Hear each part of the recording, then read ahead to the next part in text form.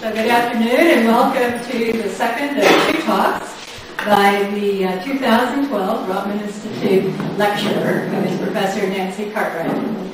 Um, the talk today is called Wiser Use of Social Science, Wiser Wishes, Wiser Policies.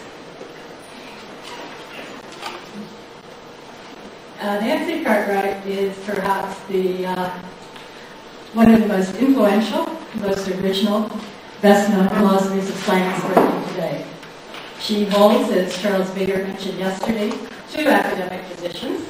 She uh, spends most of her time at LSE, and then very wisely, in the coldest months of the winter, she goes to uh, San Diego and uh, spends three months there.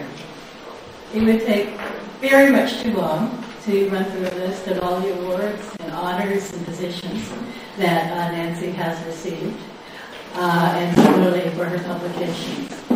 She's worked on a vast variety of topics, including philosophy of physics, philosophy of economics, uh, theories of evidence, modeling, and perhaps most notoriously, she has questioned the empiricist understanding of laws of nature and bravely suggested that we reintroduce some sort of causality, perhaps causal factors, into our accounts of science. As you know, her most recent work deals with science policy. And at least for me, uh, what's the best feature of her work is that this is nothing that's at all separate from her work in technical philosophy of science. So instead, she mobilizes the resources of technical philosophy of science to try to make a better, more equitable world.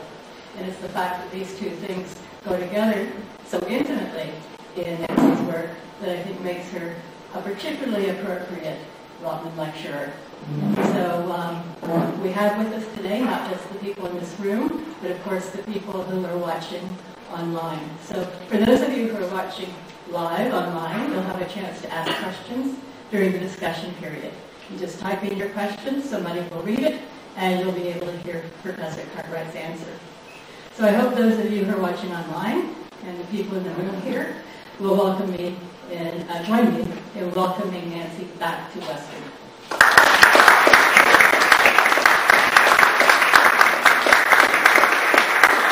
Thank you. Well, let me, let me repeat for people who weren't here yesterday uh, what an honor it is and pleasure uh, to be at Western again, and particularly to be talking at the Rotman Center uh, because I've a long-standing interest in science and values and how um, science can help us uh, make a better world. And um, I think the work here at the Institute is um, really important in this direction. Let me begin um, on wiser use of social science. In 2004, in the London Borough Haringey, 17-month-old Peter Connelly was found dead in his crib. The child had suffered fractured ribs and a broken back after months of abuse at home. His mother, her partner, and a lodger were jailed for his death. Peter had been seen by health and social service professionals from Haringey Council 60 times in the eight months before he died. There were two kinds of government responses that I shall discuss. First, the Minister of Education, Ed Balls, sacked the Director of Children's Services in Haringey Sharon Shoesmith. He sacked her with immediate effect in a live press conference on television. And as you see here, she since won a court of appeals battle against the dismissal on the grounds of unfair procedures, and she's not been allowed to present her case. Ms. Shoesmith defended herself and her service. I'm quoting, we should not be put into blame. It does not produce anything productive and obscures the bigger picture. An early BBC News interviewer argued to the contrary, and I'm quoting him, if nobody accepts the blame, how can we stop this happening again? A second response was, from, was that of then Prime Minister Tony Blair. He argued that the government can make children more safe by identifying at-risk families and intervening early on behalf of the children. Let me summarize, this is a quote from Blair, let me summarize my argument. I'm not talking about trying to make the state raise children or interfering with normal family life. I am saying that where it is clear, as it very often is, at young age, children are, sorry, bit of a blip in my, uh, I've inserted something. At risk of being brought up in a dysfunctional home where there are multiple problems, say of drug abuse or offending, then instead of waiting until the child goes off the rails, we should act early enough with the right help, support, and disciplined framework for the family to prevent it. It may be the only way to save them and the wider community from the consequences of inaction. According to Blair, we can predict, we can then intervene. Now, both these pro- uh, responses are morally questionable. Look first at Blair's. Blair's program is intended to identify at risk families and offer help. But there seems to be evidence that labeling families at risk can increase the anxiety of the parent and thereby increase the likelihood of abuse or neglect. Also, as other experts report, and quoting, parents who have been through the process of child protection investigations and registration are often bruised and stigmatized by the experience and wary of accepting the help or support which may follow. So the program may cause harm overall. Also, the question of parents' rights and family autonomy looms. As the Stanford Encyclopedia of Philosophy puts it, parents have moral and legal rights regarding their children. They have the liberty to make decisions on behalf of their children regarding matters such as diet, schooling, and association with others. Also, others argue, the government acts as paternalistically when it aims to take over or control, I'm quoting again, properly what is within the individual's own legitimate domain of action or judgment. That's an, an, another advocate of parents' rights. In giving directions to parents, the government substitutes its judgment of how to raise their children in place of the parents' judgment. So, all this considered, even if the interventions will produce the predicted benefits, there remains a question about whether such interventions are justified. As to blame, okay, blame is retributive, it is often vindictive, it attacks the moral character of the culprit, not the deed. And as Gareth Williams explains, there's clear evidence from social psychology that blame is frequently and inappropriately attributed to the free choices of the individuals tending to, quote, overestimate the extent to which people's behavior is due to internal dispositional factors and underestimate the role of situational factors, Blaming a person is more than grading them negatively. It is, as Jay Wallace argues, to make them the object of negative emotions, resentment, indignation, and subject to adverse treatment, avoidance, reproach, scolding, denunciation, remonstration, and punishment. And let's see what this looks like. Well, clearly I'm relieved with the judgment. Um, but when I actually read the judgment itself, and read what the judges have said, I feel, um, you know, very much that they have identified, they have recognised what it was I was living through during those few weeks, in that they, they are very clear that I was scapegoated. Uh, and that's clearly what I was experiencing. So there's some um, comfort in it uh, when I read that judgment today. But it is always um, with the uh, knowledge that all of this started with the brutal death of a little boy. Um, so it can never be a moment of celebration, really. Um, what impact has it had on you and your family over these last two and a half years? Well, it instantly wiped away the life that I knew. Um, it instantly wiped away many of my friendship groups, for example. Um, it wiped away my livelihood and it absolutely brought my career to an instant halt. Um, so I've been unemployed and unemployable. Did you find, because many people think it was very personal, there wasn't a, a vilification, if you like, the word that's being used. Uh, how was it on the receiving end of that?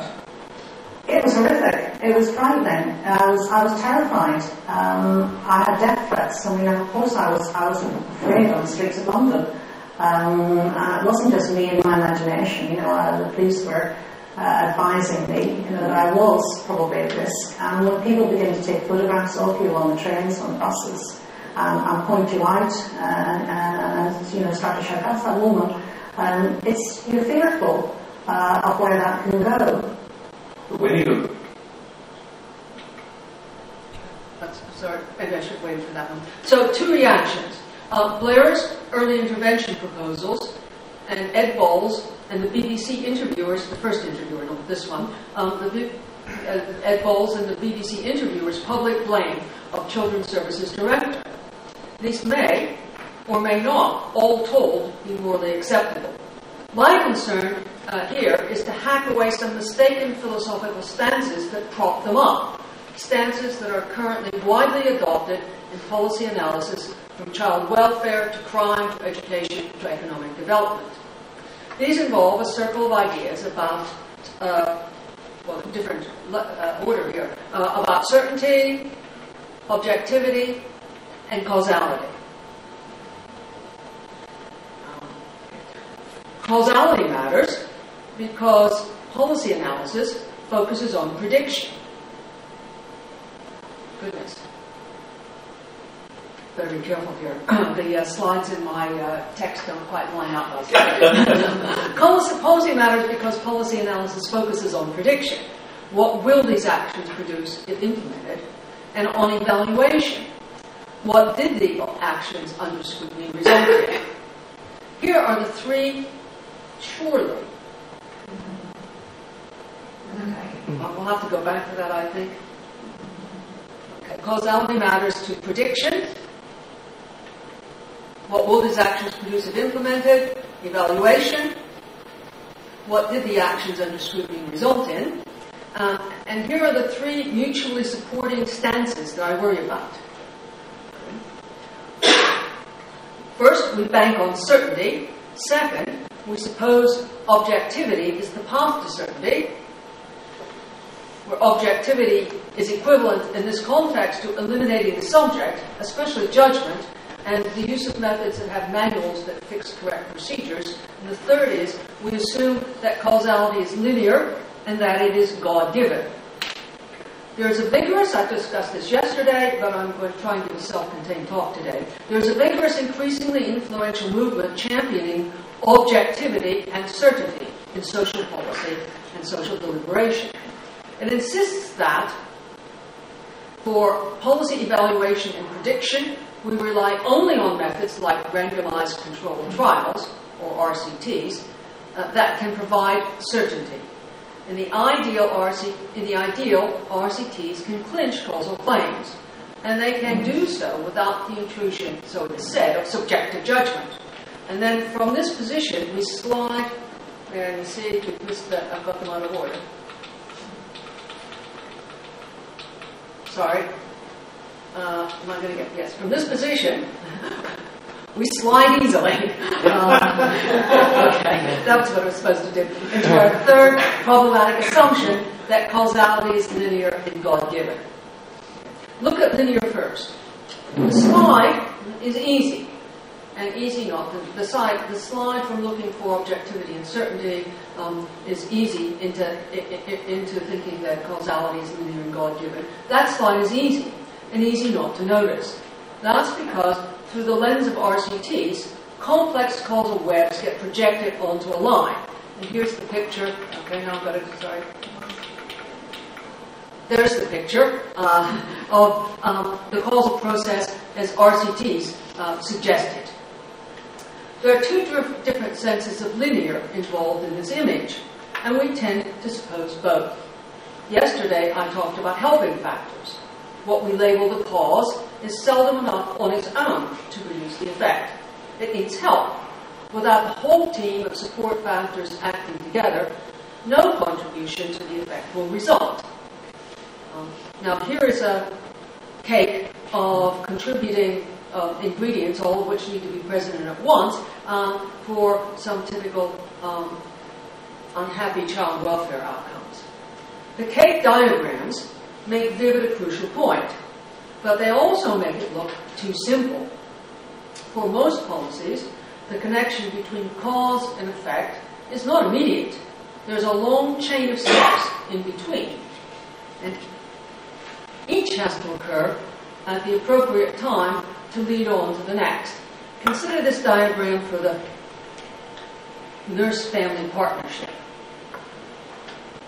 Already this picture is more complicated than my simple domino image, since the policy does not initiate just a single causal chain, but we've got three um, different policy actions that are to lead by interwoven chains of intermediate effects to targeted outcomes. In this case, less child abuse and fewer young people arrested. Focus um, on the bottom line, though. That's the bottom line. I'm sorry you can't read it very well. What really matters is to see the structure. Um, focus on the bottom line, which looks like a straightforward linear sequence. To describe it thus is to miss the point about helping factors. What we picture as the cause typically cannot produce the effect on its own, but needs the help of a whole team of support factors. That's going to be true at each step in the causal sequence. There's not just one causal cake here, but a different causal cake for each step. We want then to talk about the helping factors necessary for the, if, if we want then to talk about the helping factors necessary for the initial nurse-family partnership causes to produce the final targeted outcomes, we have to gather together all the members of all the support teams from each stage and graft them together in one huge causal cake. The point about causal cakes is that all their ingredients have to be in place or you don't get the suggested level of the effect. To the extent that any of these ingredients is uncertain, so too is the final outcome. But look at our circle of problems. We bargain for certainty. The simple linear causal model makes this look a far better bargain than it generally is. So we often expect results that can't be achieved, which leads to wasted money and effort, and heartbreak and dashed hopes. We don't work to put in place support factors that can help make our policies work because we haven't noticed the need for them. We blame perfectly good policies for failing that could achieve better results in better circumstances if only we put in place the helping factors. And we despair of doing anything because we cannot find the miracle cure. The linear model and the omission of support factors also predisposes us to focus efforts on eliminating, on eliminating harmful causes at the head of the sequence, like family drug and alcohol abuse, which can be a tall order. But it can be just as effective to remove support factors anywhere, remove support factors, and to remove them anywhere in the causal chain. Consider the growing body of research on resilience factors. Resilience describes the product of a combination of mechanisms for coping in the face of adversity. Evidence from longitudinal studies suggests that a large proportion of children recover from short-lived childhood adversities with little detectable impact in adult life. Encouraging resilience is important because resilient children uh, seem to be better equipped to resist stress and adversity, to cope with change and uncertainty, and to recover faster and more completely from traumatic events or episodes. And so that's about uh, linearity um, in the sense of uh, just picturing one cause after another. Uh, there's another fact, remember I said there were two features uh, of linearity that matter. The second is that linear models don't have cycles in them, but cycles can matter. Consider the UK's recent Munro Review of Child Protection. Um, all this uh, work comes from a joint project I had with the author of the review, uh, Munro. So, um, the review notes that policies, even good ones, can figure in negative cakes alongside positive ones. The negative cakes diminish the good effects of the policy and can even, if they're strong enough, outweigh the good effects. You can sometimes unearth the negative effects by thinking, thinking through the causal process from beginning to end, step by step, as I just recommended in Hunting for the full panoply of support factors.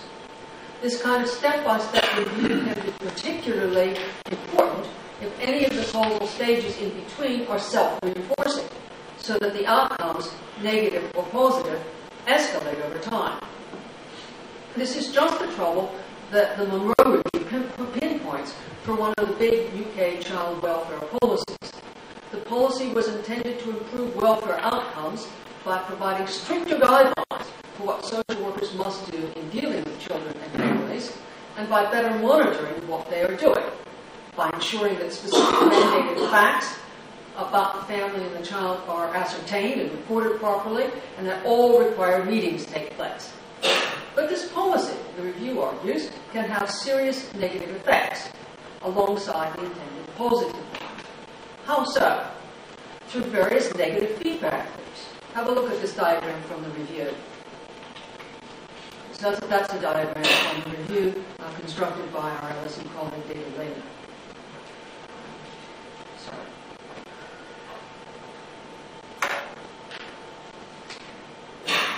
Two negative loops are pictured, R1 and R2. Both start in the same, same way.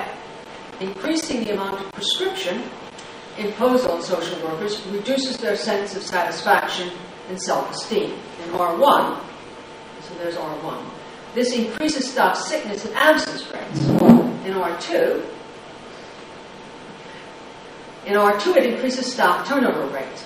Both these effects tend to result in increase in average social worker caseload, which leads to social workers spending less time with the children and their families.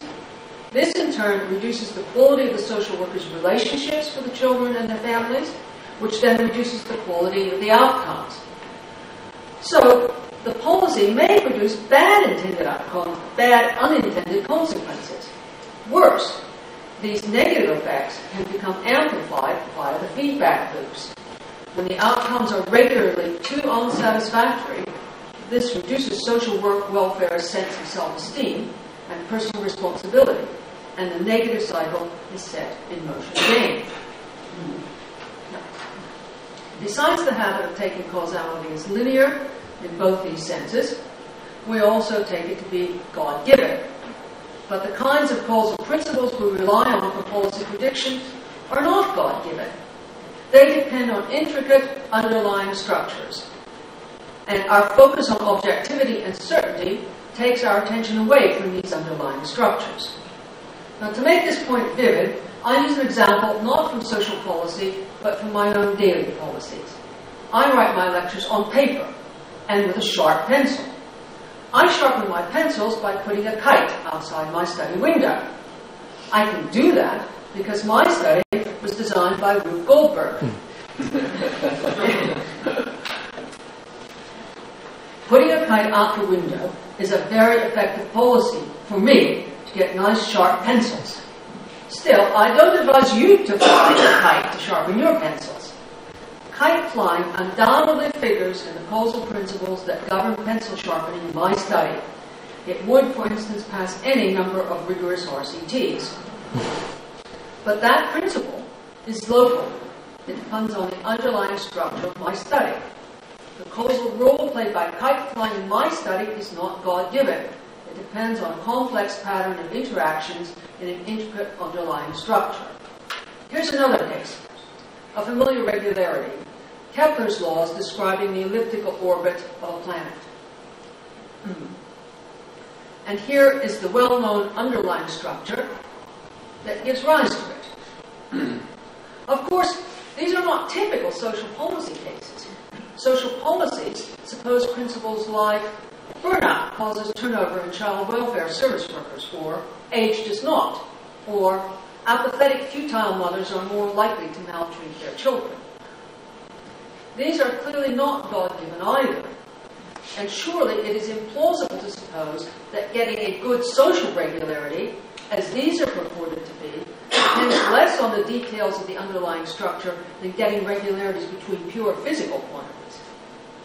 Now, note too that I am not supposing that there are no human universals, that people in Bangladesh villages are essentially different from those in New York high rises, nor across the 300 language groups and more than 50 non-indigenous communities who live in London. In fact, my two non-social examples of local causal principles work in just the opposite way, by relying on other causal principles that hold widely. My pencil sharpener depends on a number of fairly universal principles, from the laws of the lever and the pulley to the familiar fact that moths eat flannel they, it depends on that to ensure that the arrangement and interaction of the components results in the causal principle I use to sharpen my pencils. So the fact, if it is one, that there are a large number of universal truths about human behaviors, emotions, and reactions goes no way to showing that the kinds of causal principles we rely on in typical social policies will be anything other than very local. Our aspirations for certainty divert our attention to these kinds of local causal principles since they are the ones we can nail down with objective methods, like RCTs.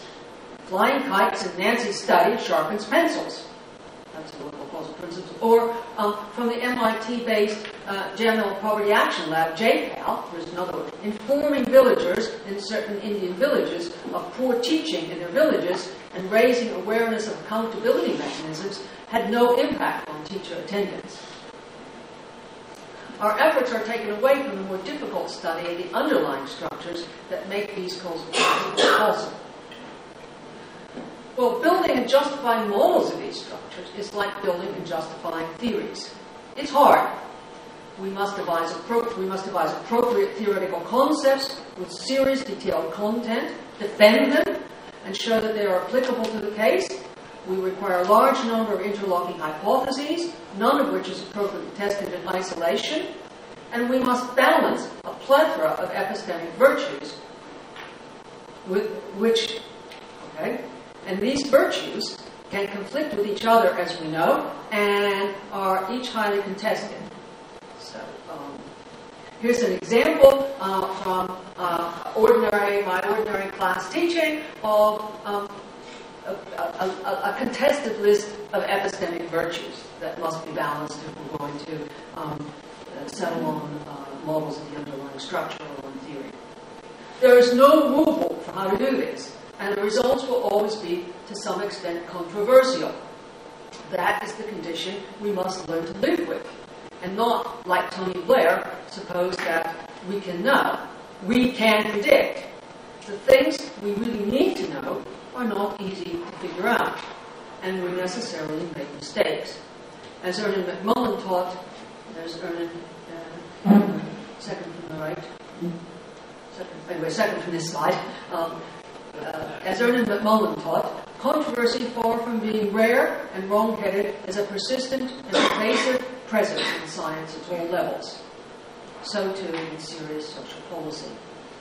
Now, when it comes not to prediction but to evaluation, looking back to see what was responsible for outcomes, the focus on linear causal principles with their objective certifying methods leads to skewed views about human error and individual responsibility as Eileen Munro uh, of the Munro Review explains elsewhere, uh, when a tragedy like the death of Peter Connelly occurs, the standard response is to hold an inquiry, looking in detail at the case, trying to get a picture of the causal sequence of events that ended in the child's death.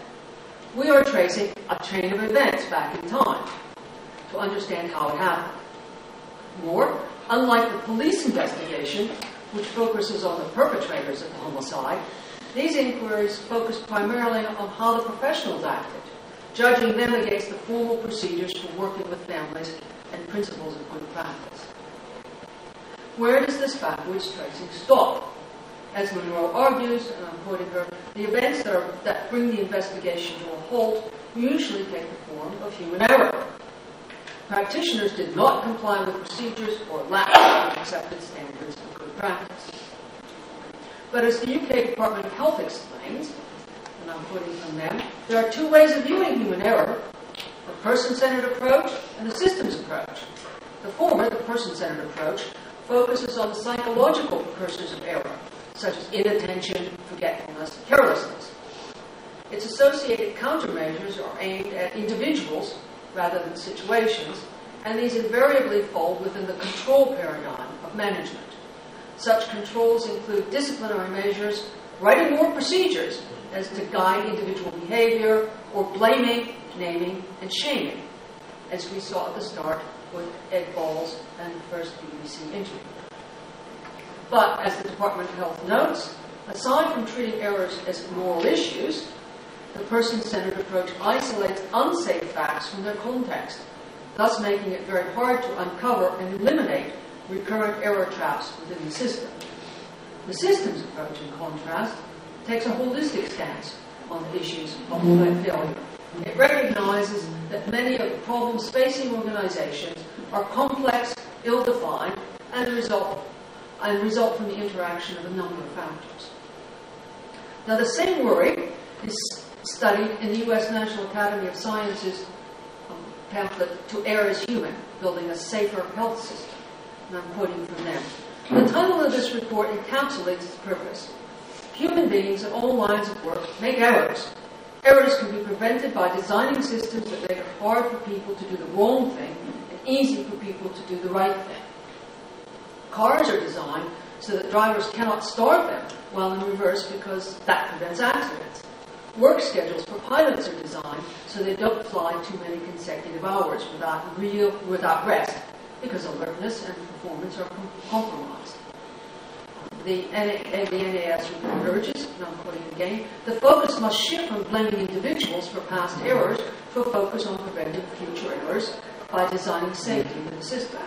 Or, to put it in the terms I have been using, we should be less concerned with the easier to certify causal sequences that start with human error and end with disastrous consequences, and far more with understanding and restructuring the underlying structures that make this kind of causal sequence likely.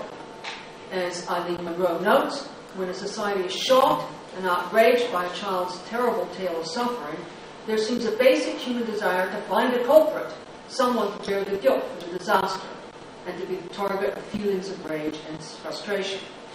This puts, up, puts us squarely into the business of finding these local linear causal principles, and with Tony Blair, we can feel morally and epistemically safe in doing so.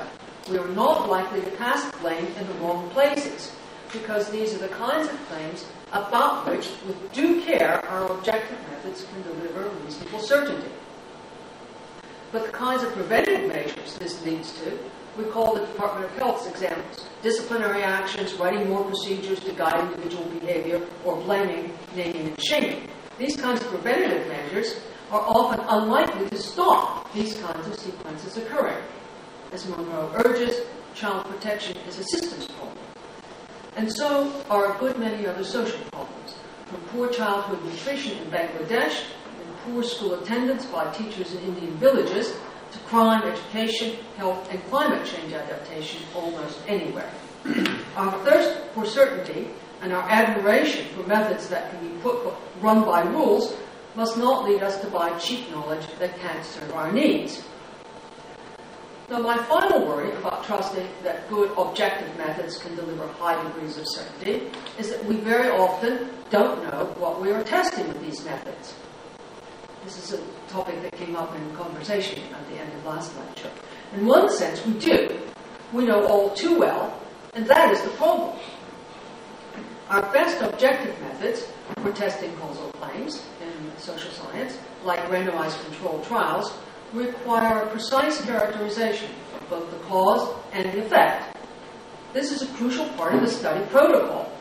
We must ensure that everyone in the treatment group gets the same treatment and everyone in the control group gets the same placebo. Um, and that there are strict criteria for deciding whether the effect has occurred. Otherwise, the validity of the conclusion is impugned. This in turn means that treatment and effect descriptions are couched in concrete operational terms. There's the rub. For policy prediction, we need causal principles that hold widely, at least widely enough to travel from the study situation to the target situation. But these kinds of principles often relate not concrete concepts of the kind operationalized in a good study, but far more abstract ones. Now, to avoid, I have some social examples, but to avoid getting into um, controversy about any specific social case, let me illustrate with a clear example from physics. The little people living on this sphere are studying how bodies, actually they're big people compared to spheres, right? the big yeah. people living on this little sphere um, are studying how bodies move when they are subject to no forces. They conclude bodies subject to no forces move in great circles because they're living on a sphere. And they were right for their own local circumstances. But that, what they record will not help people living here on a Euclidean plane, nor here. Neither of these. The tragedy is that the people living on a sphere have actually tested a useful, wide-ranging principle. That's the principle that bodies subject to no forces move on straight lines, or the shortest distance between two points. They need a better theory, but there's no rule to find it. This kind of problem looms even larger for social policy because the same thing doesn't mean the same in different social settings. It doesn't always mean the same in different social settings. Consider another case from UK child welfare policy. Not one that we currently have strong evidence for, but where there seems cause to worry. In many cases, a child's caregivers, well, they're not legally compelled, they're encouraged, perhaps badgered is a better word, into attending parenting classes. And this includes fathers. But what constitutes a father? Is father instantiated by biological father, or, for example, male partner the mother who lives in the household with a child, or maybe male caregiver? Maybe the policy will be effective if the male caregivers or men living with the mother are targeted, but not biological fathers. If so, to focus on being a father would lead to move too, to too high a level of abstraction, since only the more specific feature, male caregiver or male partner of another a mother who shares the child's household, enters into a reasonably reliable principle. On the other hand, compelling the father or male caregiver to attend classes can be too concrete. Different cultures in the UK have widely different views about the roles fathers should play in parenting. Compelling fathers to attend classes, which fall under the more abstract description, ensuring caregivers are better informed about ways to help the child, in which case it could be expected to be positively effective for improving the child's welfare. But it may also instantiate the more abstract feature, public humiliation, in which case it could act oppositely. And of course, it can fall under both at once. In any case, if the two more abstract features fall in opposite directions, there will be no reliable principle to formulate at the more concrete level involving fathers. My how are we doing for time? Okay, well, then I'll just. Um, uh, nor is this pull um, in opposite directions.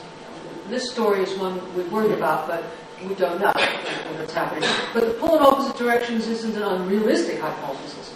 We know from empirical research that there are varying outcomes associated with compelling parents to attend parenting classes, and also that these are correlated with varying motivations what's unfortunate is we don't have sufficient theoretical probing to explain the variations and the correlations.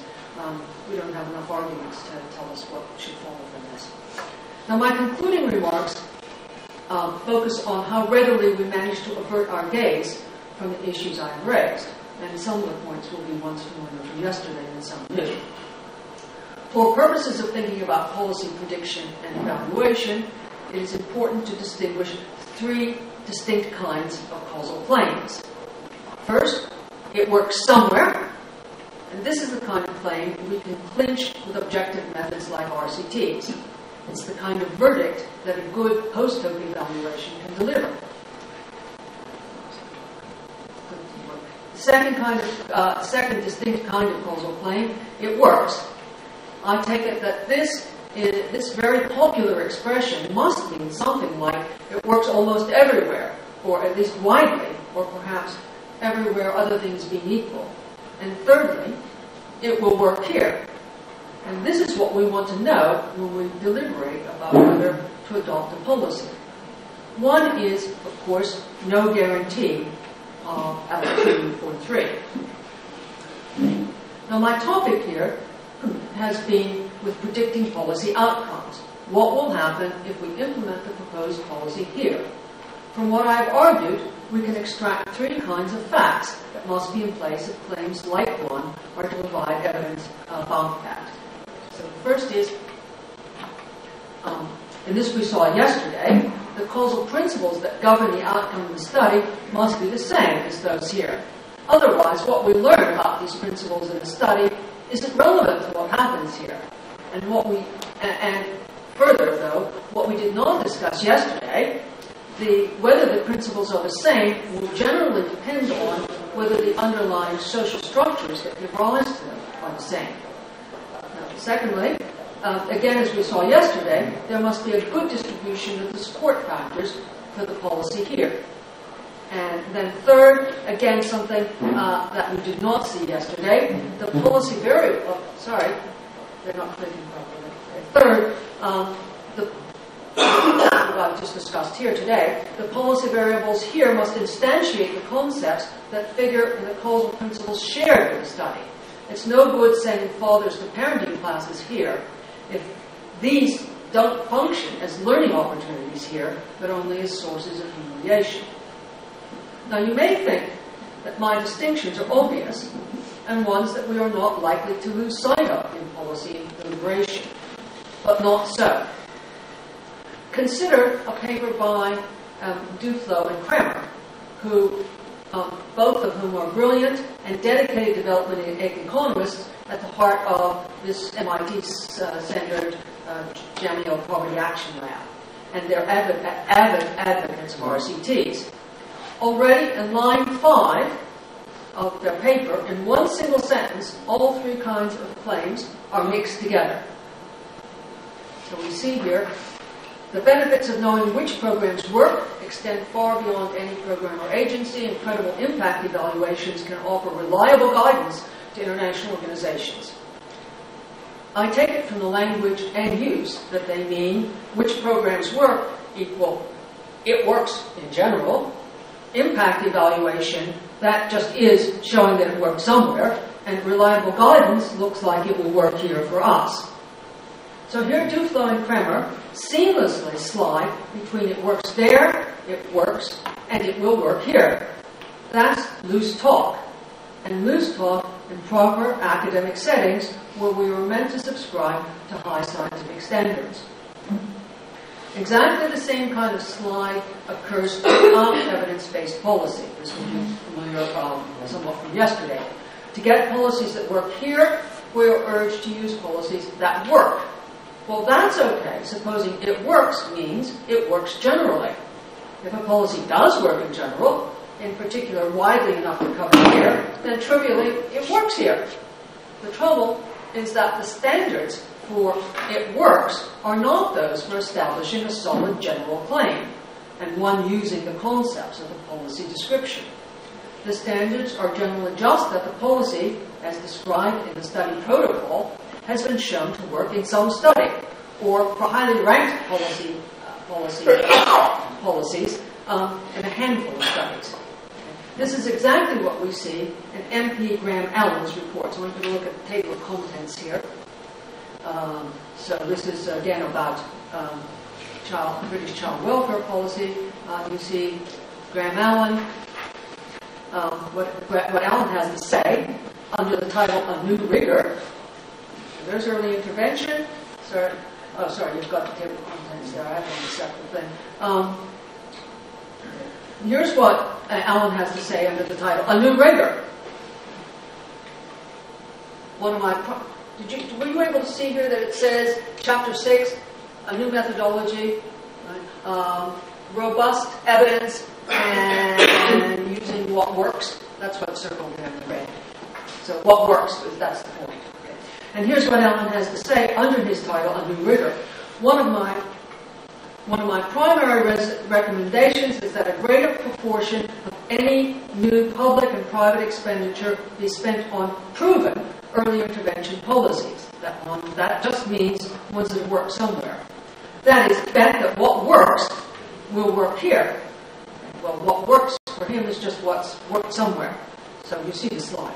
Okay, and here are Allen's recommendations uh, for deciding what works. Uh, one, up there under good research, um, one randomized controlled trial, and best, there are RCTs, Okay, so those are his standards for what works. And those are standards that are appropriate to show that it works somewhere. Um, he's now putting those as standards for it works and recommending that, that we assume that it will work here.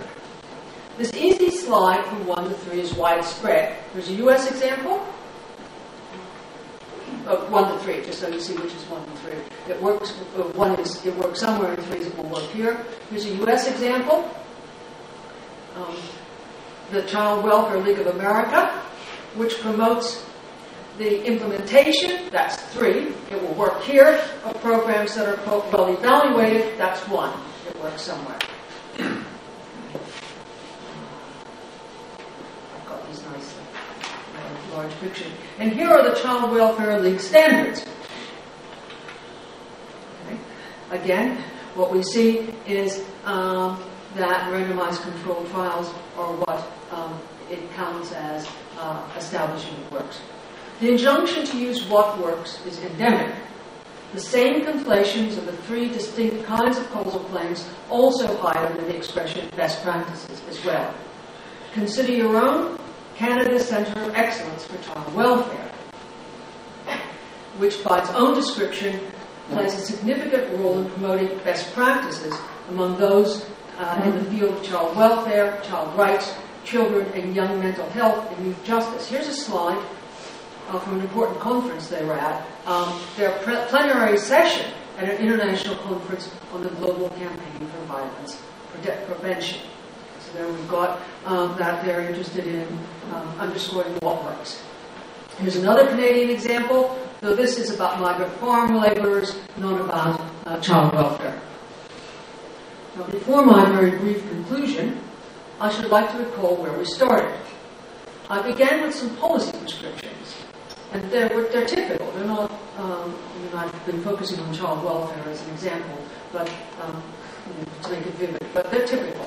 So I began with some policy prescriptions that may be all right, but that certainly call for moral scrutiny. That's why I think it's particularly important here at the Rotman Institute that we look at these kinds of issues, uh, methodological and value issues um, in, in, a united way. Um, so I began uh, with some policy prescriptions that may be all right, but that certainly call for moral scrutiny.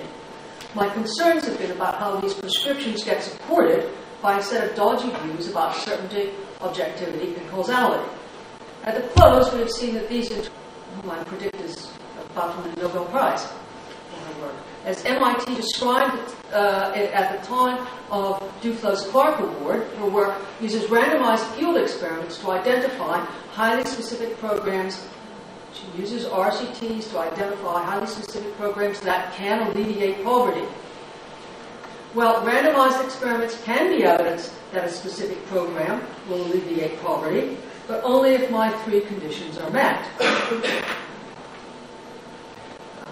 facts that make one evidence for three, causal principles that govern the outcome in the study are the same as those that do so here, and that usually means the underlying social structure is the same, there's a good distribution of support factors, and the policy variables here instantiate the concepts figuring in the causal principles shared in the study.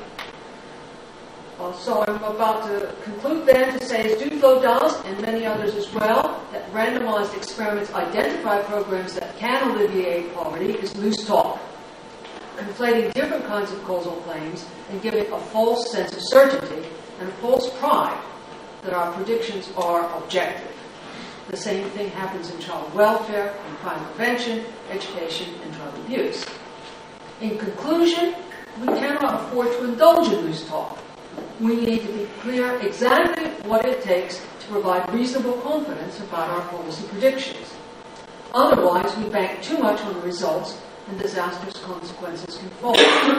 My parting thought to leave with you is that now, as then, we must take seriously the World War II slogan that loose talk can cost lives. Thank you.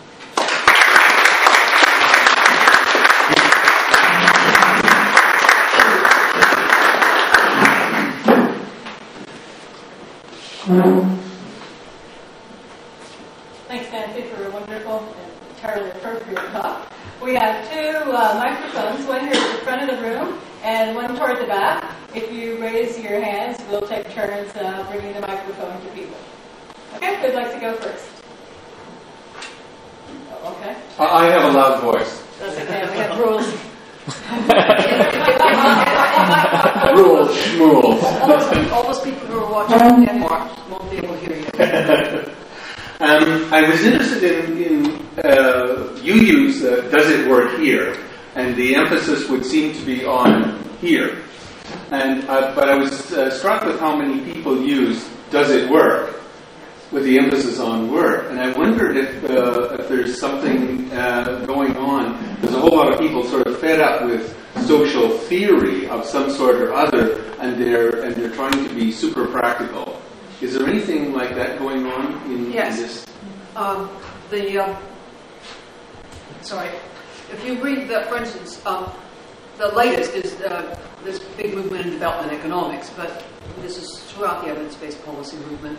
Um, it's that um, we've got too many failed policies. We've been wasting our money. Um, development outcomes, um, the results of well-intentioned programs are not working. So we should get down to some. Uh, let's not rely on theory or the, the general evidence-based policy says not rely on theory or whim uh, or um, self-interest or interested. Um, but in the development community, it's uh, let's not rely on these kind of loose theories or loose ideas about what will work. Let's find out what works. So um, he's in development economics, and when he talks, when I first heard him talking about it at a, at a big lecture, he said, "I want to these are the good guys." These people really, really do care about development outcomes, and they under, they go to the countries and they work, you know, deeply in the countries. So um, they and they are really interested in, in practice. What I just find is that um, you can't do what they like to do with the tools they've got. Right. Thanks.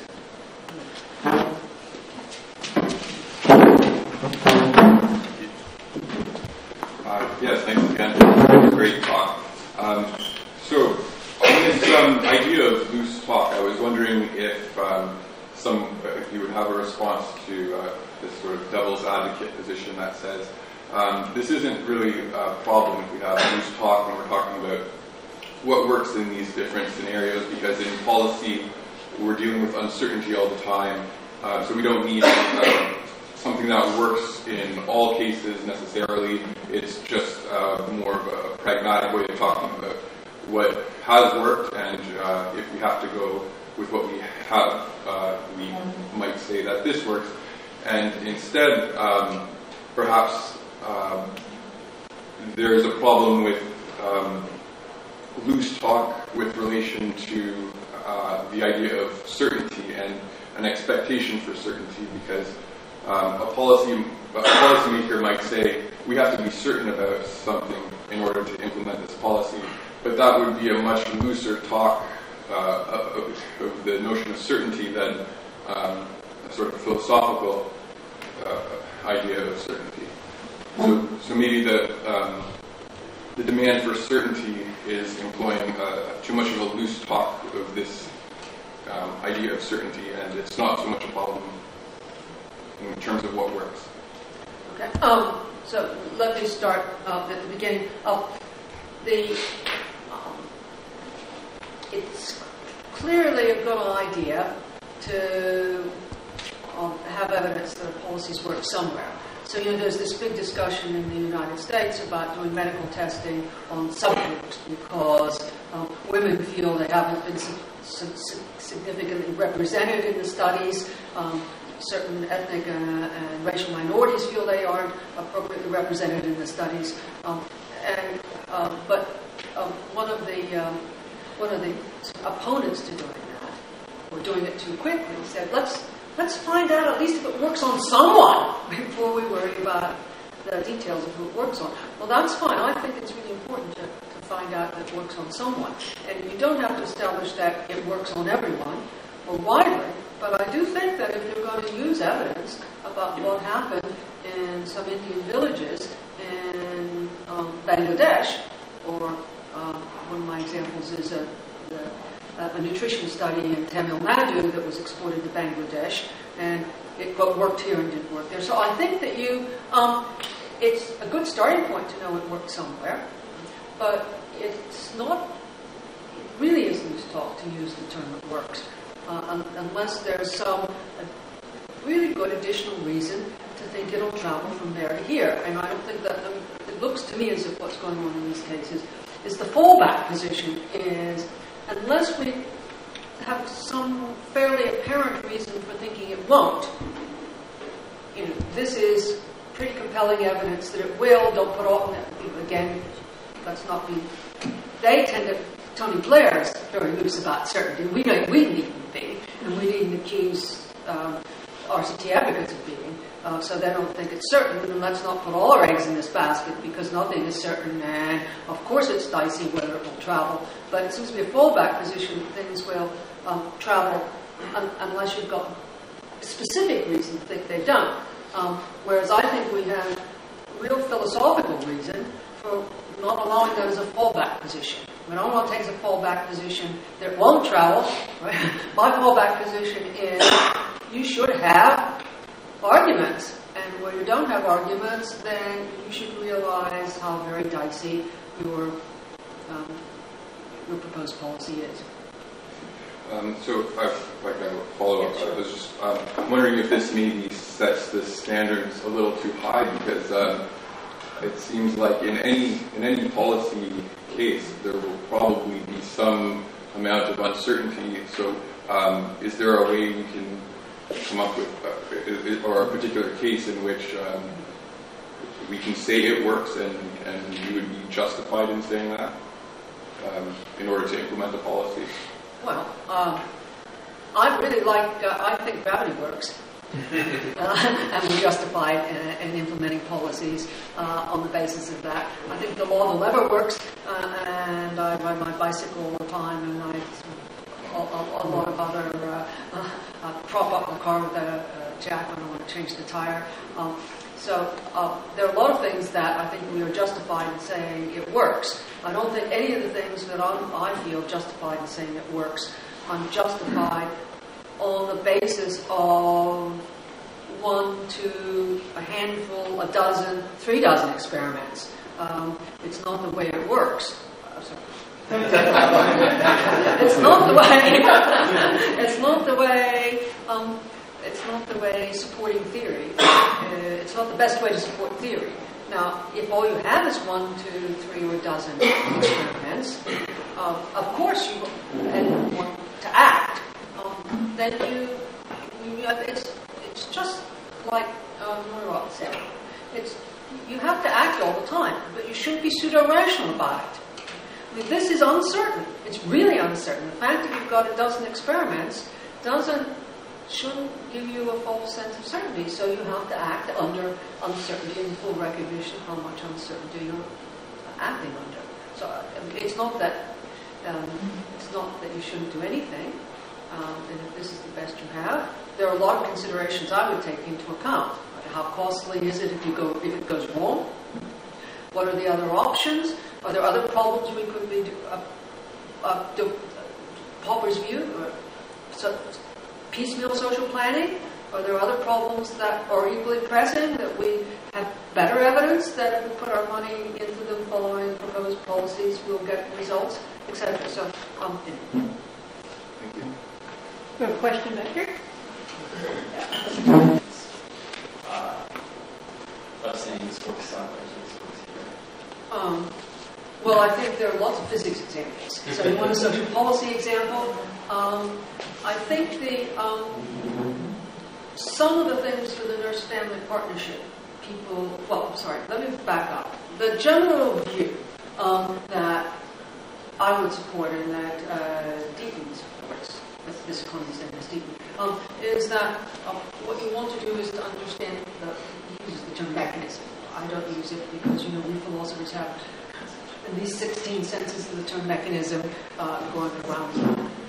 Thinks that um, we want to understand the underlying mechanism. And he's got lots of economic examples where he thinks that, at least for the nonce, the underlying um, economic mechanisms are fairly well understood. So he talks about some example, he used as an example for me, um, whether you can build uh, stations, train stations, uh, train lines in um, China are going to increase economic activity where you understand fairly well how it would happen, um, you understand the underlying structure that would allow it to happen, um, you've got good um, econometric studies in other places that putting in train lines will um, increase economic activity. Um, but we, it's partly because he understands how it does it, not just not just the steps in the causal process, but what's the whole underlying economic social structure that allows that causal principle to hold. Um, so I think there are cases. Um, so the nurse-family partnership, which has um, been tried out in a number of American, different American cities. Um, also, um, there we have some idea already of what some of the relevant helping factors might be, and also what some of the some symptomatic variables of difference in so relevant difference in social underlying social structure would be. So it's been tested across a number of such variables. Um, uh, and there's some theory, and it seems to be working in Birmingham, in Birmingham, England, where it's been taken up. Um, but all that's a bit dicey because um, it's not that one understands well enough the underlying social structure. It's that you've got some symptomatic variables. And so you look to see uh, urban versus rural, um, whether the neighborhoods it's being tried in are ethnically, racially, culturally versus sort of homogeneous, and sort of indicator variables like that that you think are symptomatic of differences, what might be in relevant social structure. But if you've got, if you've got any um, good examples uh, where you think uh, you know, um, I should be looking at nice successes, that'd be good. I think good. Um, but um, I'm just wondering, do you think that those conditions um, apply to um, every part of social policy, or might there be um, some source of social policy that uh, would require you to alter the conditions of just the problem you Oh, I think I, I, I think the reason for sorry, I think the reason for studying social structure. So I've done this for years, been advocating something I call the underlying nomological machine, and um, it's one reason why it's surface. And I really want to understand mechanisms in the more the sense of the underlying machine that allows you, when you put your four quarters in, to get out the Coke tin. I want to know the structure on the inside in order right, to make it better. So I think that usually um, uh, better. That's why that's what the systems theory people were saying in those uh, U.S. National Academy of Sciences documents. Um, it's important to understand the, the underlying structural structural arrangements in order to change them rather than changing, trying to tinker with um, the causes at the, at the superficial level. Amy. Um, thank you for your talk. I thought it was really interesting. And I have a, a question regarding um, your third point, the it works here point. And I'm curious about how, when you're answering it, trying to figure out the answers to the it works here question, to what extent should people who are involved in the local context for which a policy is, you might be trying to generate a policy. Um, to what extent you think they should be involved in the creation of the policy? And I ask because you seem to be putting a lot of emphasis on helping factors and underlying causal structure. And it seems as though that kind of local personal knowledge that you could get from living in that situation. And I mean, it's really broad, so I'm sure it varies case to case that having this inclusionary element to the policy um, generation procedure might be It seems that it might be relevant. Yes, and, and the local um, people who are are keen on local knowledge and trying to uh, discuss uh, a local example in Britain that we use at Jeremy Hardie and I use in this pamphlet we're writing, I've written about evidence-based policy, is uh, microfinance. And uh, he was part of um, a, a charity that did a microfinance project in London. And the idea was uh, they were moved by things like a woman reporting that she and her daughter uh, lived in a neighborhood that had a substantial uh, white population but all the in London, but all the hairdressers in the neighborhood were hairdressers for black hair, hair of black people, right? uh, which is uh, just requires different expertise. Um, and they wanted to open a hairdresser, and both of them were trained, uh, but they didn't have any capital, and they only needed a little money. And that's the kind of case that looks like microfinance is intended for. So they did this project on microfinance in London, and it was a total flop. And microfinance has worked, worked in various places. It's also failed in various, but it worked in various places. And Jeremy's um, analysis is that the people who were recommending it were experts in economics and in world microfinance theory, uh, the, the, the story behind microfinance, and they didn't pay any attention to London. They really didn't pay attention to the local circumstances, where um, in London it's you know this dreadful thing. You can get you can get a credit card for with nothing, and you can run up ten thousand pounds. You can get various credit cards and run up ten thousand pounds of debt on any of them. So it's very easy to get credit. It's also um, most people are embedded in a slightly larger family network where money is available, etc. So that's not that's not put in. Um, so that's one thing. The other is that you know that um, there's a widespread movement to think that it's very important that, um, that we stop having this idea that there's one group who has the money and thinks about what policies would be good for another, and that we want people to be real participants in the things that are affecting their lives, not just because that stops a kind of paternalism, um, but also because if you don't own the project, it's very unlikely that the locals.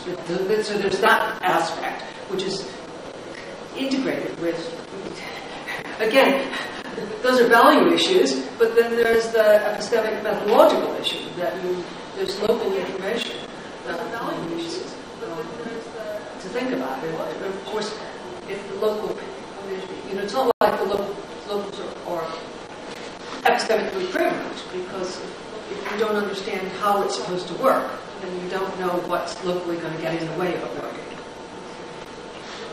working. Other questions? Yes, Eric. So uh, your your answers your answers to the uh, last couple of questions um, may suggest uh, grounds for pessimism about the, effect, about, uh, the effectiveness of policy in general.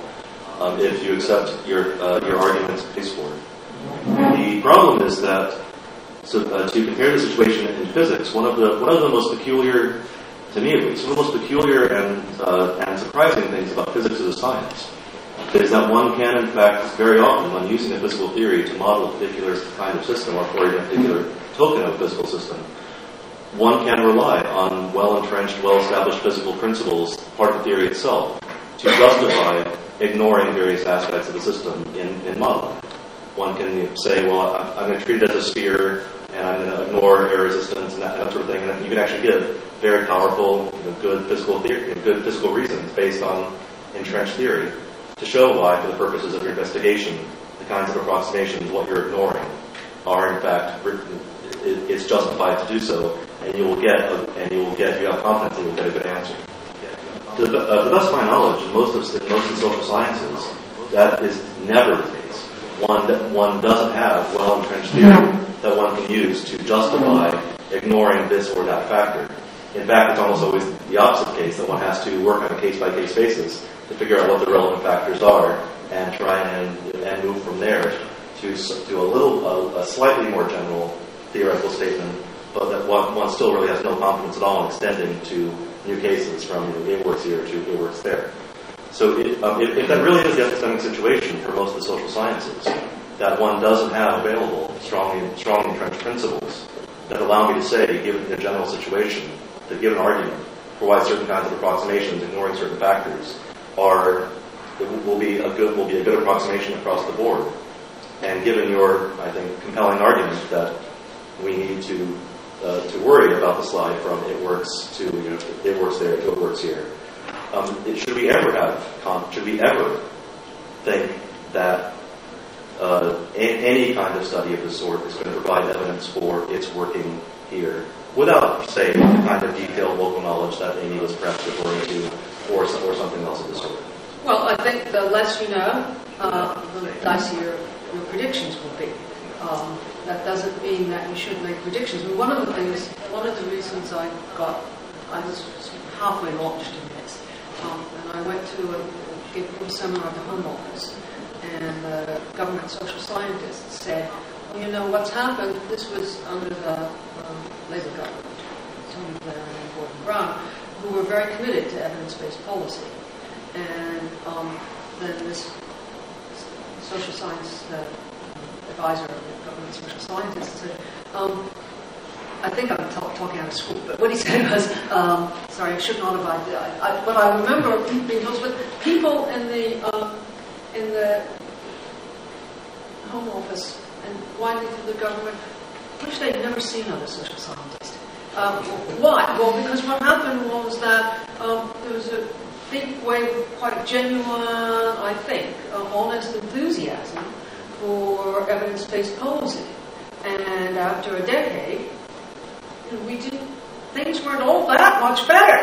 um, and um, that then there would be, um, uh, what do you call it, a backswing. Um, uh, uh, say, well, let's not bother with it. it didn't do any good. Um, whereas it seems to me that um, that's the wrong thing. It's the, let's do it a little better, and let's realize that there are, um, that's not, as Blair, you heard him say, we can be certain. Well, that was that was the mistake, right? Um, to expect way too much, way too soon, and way too cheaply. But um, of course, in your government, you have to make short decisions quickly. Um, and unfortunately, you want short-term outcomes because otherwise you don't get re-elected and people don't see the results. So um, Obama's a failure because America's still in a bit of a mess. Um, but that's that's standard. Um, so yes, we have all these problems, um, but it's better to use what information you can get. to Think about um, whether what kinds of things, um, and to know what kind of information you need. That's the job I've been doing, is to try and isolate, although I do it at a very abstract level, what kind of information you need. Because everyone knows you need, you need to know more, there's a problem with external validity. Well, there's a problem. How come we slide so easily from one to the other? We're all so uh, attuned to this problem. And then, you know, what, at, at, even an abstract level, what kind of further information do you need? You lay it out, then you can start hunting for it. Bill Harper has the next question. Okay. Uh, I think certainly made the case that we that uh, the the uh, ex, the the the the, the, extra, the, the differentiating factors that are going to make a difference about whether it works somewhere or works here. That, that the evidence-based policy thing needs to pay more attention to that than has been done from what. Now, I'm asking you to expand on your answer to Eric. Uh, cases where where the improvement that's come from paying appropriate attention to these things you've been telling us you really ought to be paying attention to has really paid off. Because that, that's, I think, clearly there ought to be lots of such cases. And I, and I know you haven't had enough chance to influence the British government, but uh, perhaps there are some, uh, uh, just an example you could give or something positive about uh, I mean, what you were suggesting was there's a, a, a, a look, there are these people in the Home Office that wish they'd never heard of evidence-based policy, and uh, that was probably just a, a wrong ascription. there are people, there are people around. but, but the important thing is, uh, I think it's clear that there's really powerfully promising projects that involve paying appropriate attention to these things you've told us we should pay attention to. And I, I, maybe you could just give us some hope. You're, such, you're an optimist. Well, um, let me. Uh, I should get some good economic ones uh, from uh, Angus, who believes that there are some for the nonce at least, you could buy this story about the, uh, about the mechanisms. Um, the nurse family partnership is um, nice because one of the things that uh, we talked about last uh, yesterday, uh, and that comes up today, is um, this demand that you stick to the protocol. So you've got a policy that's worked somewhere. Because probably the protocols uh, described at a very low, con- as may well be at too operationalized a level. Now, um, the opposite problem to that, so I'm going to try to get to the point. The opposite problem to that is cherry picking.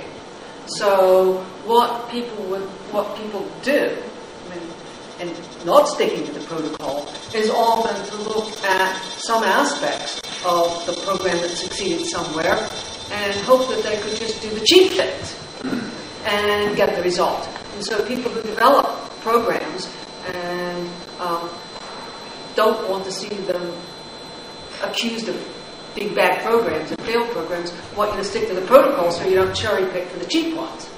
So you've got something that you do. Now, the reason, the, the thing about the nurse family partnership, as I understand it, is that it's fairly elaborate. And it's at both a fairly operationalized and a fairly abstract level. And um, apparently, as it's being operationalized, um, so it's still being kind of operationalized in Britain, so you're changing, telling you fairly specifically what you have to do. But it's being changed from the way it's been done in the US. So there's a case where it's the um, project itself has got so much sort of structure in the intervention um, that um, it almost carries it. It almost carries its social structure. It hopes to carry a lot of its social structure with it, but there's also a lot of hands-on attempt to understand what these abstract concepts really amount to in these different settings, and so that in the course of the implementation to inform those applications, that would be, if that's, that would be an example of your thing, where you help in that work. Yes. Yes. so the, um, so, well, that's, I mean, one of the problems is, um, I think you have this problem in general with um, moving from, say, an economic model or an economic experiment, is if you look at an economic model, uh, it's the same thing going on, but I just thought might be an easier example. Um, you, um, in the economic model, like say Schelling's discrimination, checkerboard discrimination model, you derive something very concrete. You actually derive that the black checkers will clump together and the white checkers will clump together under this funny rule about how you, they move around the board. Um, from that, you conclude something abstract about preferences uh, for racial distribution and, and, and uh, uh, segregation. Then you go to a, new, a real case, and you have to figure out what think those abstract terms like preference not to live in a segregated neighborhood mean over here. And there's several steps involved. One was how did you know from sort of story about checkers why did you conclude something about segregation and people's preferences? And checkers don't have preferences. Right? How, did, how did they get in?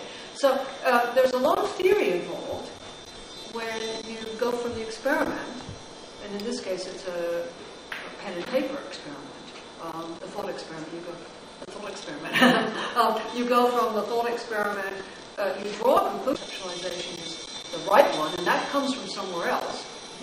Um, that, that's the right way to conceptualize the result. And then you come over here to a new case.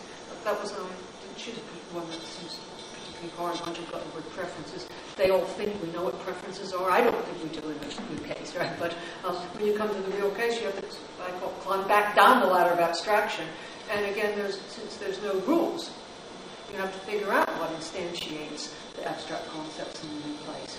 Um, uh, where is that well done? Yeah. uh, well, um, I think it's, uh, it might be well done in the nurse family partnership.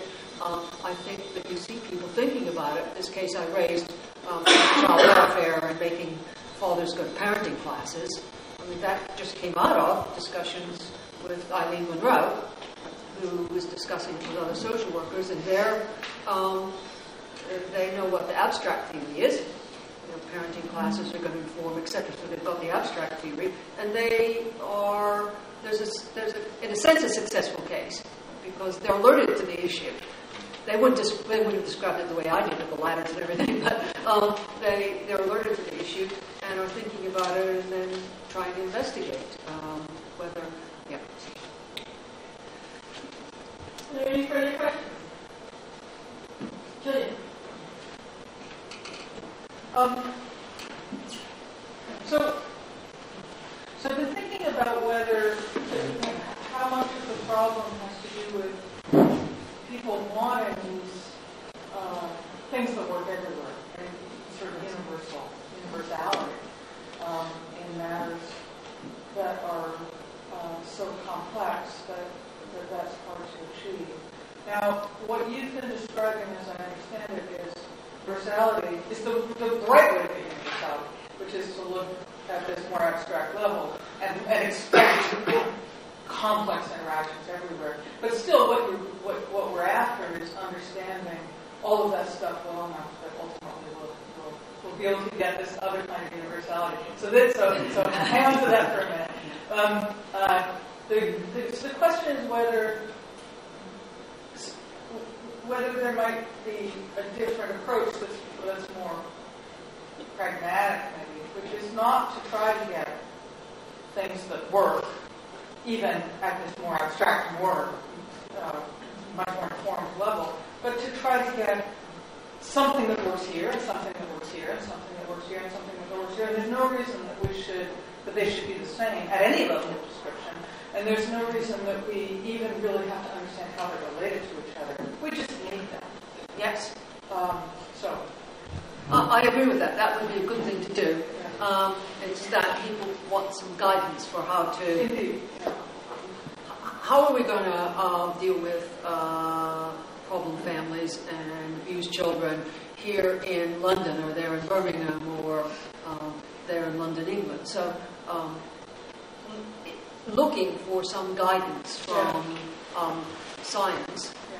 This movement has said, let's start with finding out that, that a policy works at least somewhere. That's what the U.S. Department of Education says. Um, you shouldn't you shouldn't be investing in it if it's never worked anywhere.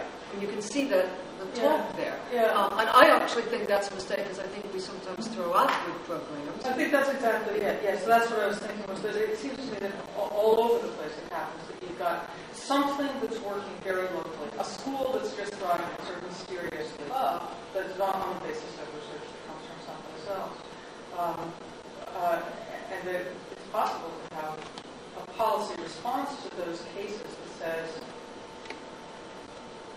take what's you know take what's working locally and try to spread it a little bit um, instead of trying to find something some single. Well, I'm, sym- I'm personally sympathetic to that because I'm, um, I'm an epistemic conservative and I like to take little steps, and that's how I got to say the laws of physics. I thought the laws of physics were absolutely admirable and did wonderful things for us, um, but they were so far away from what I thought by little steps um, you actually had warrant for, as opposed to um, getting one organizing thi- thing for you. Um, they're more detailed versions in the hands of, say, laser physicists um, would, um, be immediately helpful. Um, so, but um, there, are, there are these opposite metaphysical views that if, it, it, if something is actually producing a result, it has to be because of something generalizable. Um, and I don't want to deny that, but I do want to point out the dangers. Um, I mean, another thing we didn't uh, talk about, but this thing about the steps. Um, it, uh, in the Rube Goldberg machine, every you, you know, every step is guaranteed by something which is generalizable, widely generalizable, but the way the steps are connected with each other depends entirely on the local structure. Right? So the fact that cause one at the abstract level isn't a cause at, the, at that level. It's because this effect, the first effect, instantiates just the more abstract effect concept here, and it instantiates the more abstract cause concept there. Is that too complicated? Anyway, you see the idea. Um, so uh, I, I, I do really worry about the drive for generalizability when you want to figure out how to make something work, um, as opposed to wanting to have the tools to build models that will. Um, I mean, we, we have all those nice tools, the laws of the lever and the laws of the pulley, uh, that allow Rube Goldberg to build that very um, nice machine with this very, very odd causal principle. Um, so we do want to pay some attention to the generalizable principles, but they're not likely. My feeling is I wouldn't put many eggs in the basket of thinking those generalizable principles are going to be ones that connect the causes and effects we're interested in. We're going to, I mean, they're going to be pretty far away, and you have to deploy them um, in, a, in, a, in, a, complicated way to produce the results. Um, anyway, I hope that mean, what I really wanted to do was in, in, this lecture was not just to talk about the specifics, but uh, I think that these cases are cases where it's it's impossible to deal with the ethical issues independently of the methodological issues. So that we need methodologists, people thinking about the methodology and the ethics of the policies um, in the same conversation at the same time. I think on a better note, I wish to end. So thank you. Thank you. And the highly cherished philosophy month. Oh, thank you. thank you. It worked. Oh, Bobby doesn't do about the other end?